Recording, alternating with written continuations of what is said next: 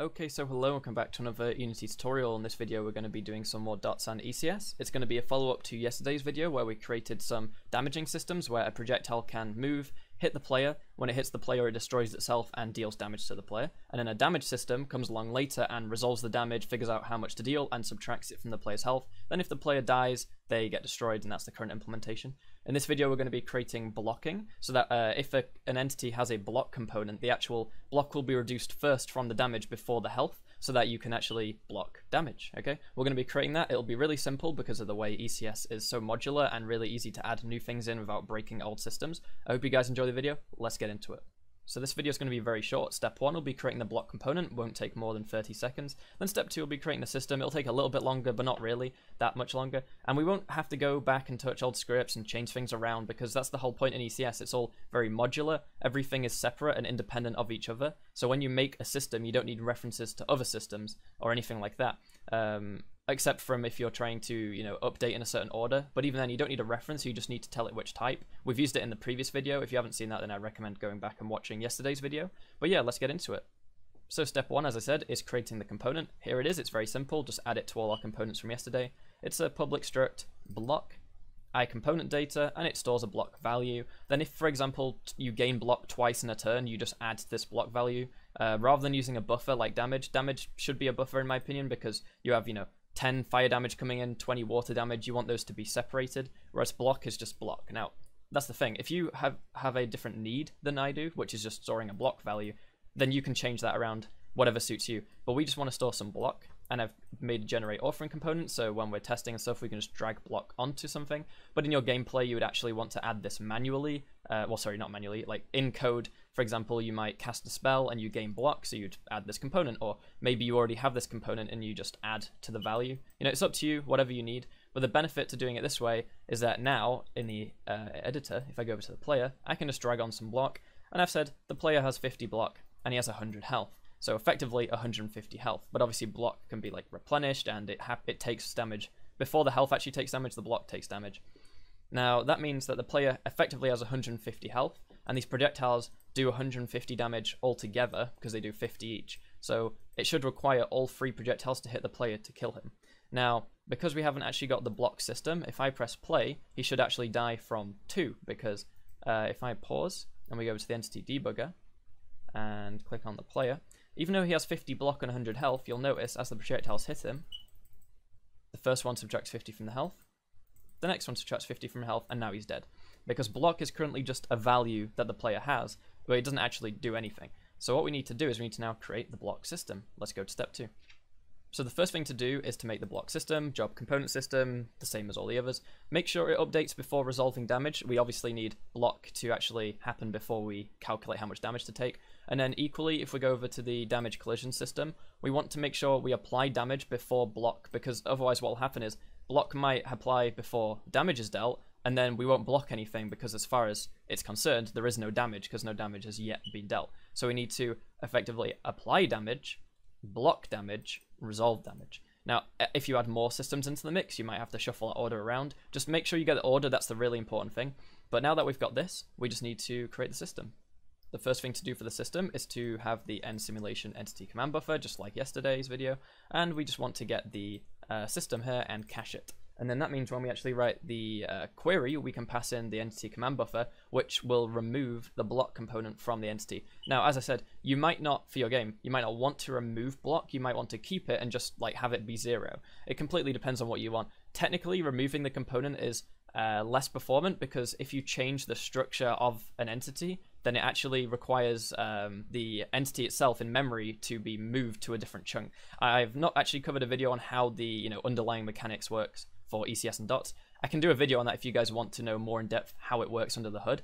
But essentially, um, what you might do is you might leave the block component on the entity to say, effectively, this can be blocked. So instead of adding block at runtime, you just modify the value of it. You know, as I said, it doesn't really matter. It depends on your needs. I'm going to just go ahead and remove it. So what we want to do for our update is we want to, um, just like yesterday, we want to store a command buffer. Um, so we're going to say entity command buffer. Okay, let me zoom in a bit. ECB, and we set it equal to the system ECB dot create. Um, whoops, it's create command buffer. but it's the system instead. So it's create command buffer. And now that we've got this, we can actually use it in our query. So we'll do entities, uh, entities dot for each. We want to do for each. We want to access the entity because we want to tell it to remove its uh, block component. We actually want reference to the block component, so block, like so. We'll call it block. We need to do ref because we're actually going to be modifying the block value, so we need a reference to it. If we just passed it in, it would be effectively read-only. Um, then we want the uh, reference as well to the dynamic buffer of type damage. Okay, just like how the uh, damage resolve or the resolve damage system queries over the dynamic buffer damage and reduces the health, we want to actually reduce the uh, damage itself. So we're going to say on here, um, if we call it like damage buffer, for example, okay, uh, then we need to use the lambda here, like so. I've just done my brackets wrong. Let me just fix those. Okay. Um, then for this, we're not going to be worrying about burst and everything and setting all that up because it requires us to kind of change how we do this since we're modifying the structure. So we're going to say without burst, okay, dot without burst, dot for each. At the end of this, we call run. And at the end, we just return default because we're not doing anything with the input dependencies. And now we can write the logic.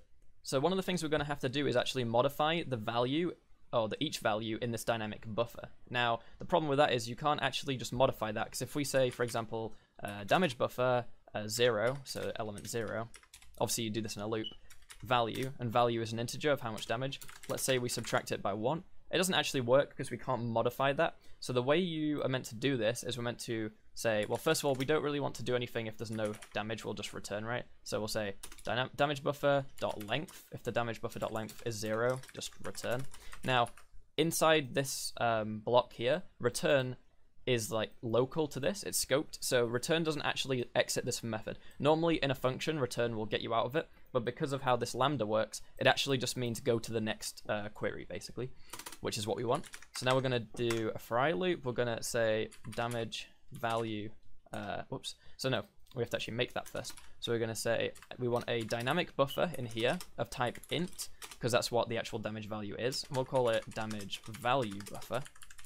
Okay, and that's equal to the damage buffer dot, and we can call this method, uh, I don't know why it's not coming up, but anyway, reinterpret, and then we pass in the type int. So as far as I'm aware, how this works, you know, under the hood, is it goes to our damage struct, and it says, okay, um, int, so it gets us this value. Now, if you had two things of the same type, I'm not quite sure how that works, but it works for what we need to do now, so that, that's uh, fine by me. Now we're going to loop over everything here, so we're going to say um, damage buffer dot length. We want to say, well, let's calculate how much damage we're going to block. So damage to block. Let me zoom in a bit. So the damage to block is math.min, because it's going to be the smallest value. Okay, that math.min returns the smallest value between uh, the value of the block, so how much block we have left, or damage value buffer i. Okay. Now the reason we do this, in case you don't get the logic, is let's say we have 10 block and 20 damage coming in. Well, the block is less, so that's how much we're going to block because we only have 10 block. But let's say we've got 10 block and we're dealing 5 damage, then we're not going to take off 10 and make it do minus 5 damage. We're just going to make it do 5. So whichever the smallest value is, is how much we're actually going to block. And then with that value, we're going to uh, subtract it from block so that when we come around to do the next loop, um, we've actually already lost some of our shield, basically. So damage to block. And then we also want to do it to the buffer. We want to say reduce that much damage there. So damage value buffer, i, minus equals damage to block. So now we've actually uh, done that, we can say, well, now if we're out of block, now this is the part that, depending on what your logic is, you might want to do this or might not, but I'm going to do it, so I'm going to say if block.value is 0, then ecb.remove component of type block. So we're going to remove the block component on the entity from this query. Then, uh, that's it actually. Yeah, there's nothing else to do. So this is the thing that I said would change based on whether you want to leave it or not. So if you want to leave it, then just leave it basically. Um, it's got no block, so you calculate how much to block on the next loop. It's going to be 0, so you just subtract 0. You could equally just check if it's 0, then return or something. It's up to you. Um, it's actually more efficient to do extra queries that aren't needed than it is to move a chunk in memory or move an entity to a different chunk in memory. So you know, I'm going to do more research on that kind of stuff, like which is better to do in certain circumstances. This works absolutely fine. If you're doing it like a million times a second, then yeah, it's going to have problems. You might want to just leave the component there. Removing components is okay if you do it every so often, which is what we're doing. We're only doing it every so often. So we'll go back to the player. They have block. We're going to press play. I'm going to pause so we can see it better in the entity debugger. So we go to the debugger. The player has 50 block. Now, as the projectile hits, Notice how the block has been removed. It's absorbed 50, and then now it's actually uh, the player's got 100 health, and then they get hit by 50, and then 50 again, and they die. Okay, it works. Now let's say uh, we go to the player's block, and they only have 25 block. What should happen is the this first projectile should bring the player down to 75 health. So if we press play and pause, go back to the player itself. So it's going to hopefully block 25 damage and then pass on 25 to the health which is what it does there. It's now on 75 health, 25 dead. Okay, so that's it for this video. I know it was really short, but I hope you guys see how easy it is to expand already existing mechanics to add new mechanics on top in ECS and DOTS. So if you like the video, then please leave a like and subscribe, share the video wherever you can. Thanks for watching, guys. I'll see you next time. Goodbye. But of course, before we go, I've got to thank my patrons. A special thanks to Josh Folsom, Beard or Die, Dustin Miller, Francisco Diaz, Rack, Yoris Letter, Hades Zorko, Rene, and Marie Baldwin. If anyone else is able to help support the channel monetarily, link to my Patreon's down below. If not, there are also links down below to other social media such as Twitch, Twitter, and Discord. If you could help me out by following on any of those, it would be greatly appreciated. Thanks for watching, guys. I'll see you next time, and goodbye.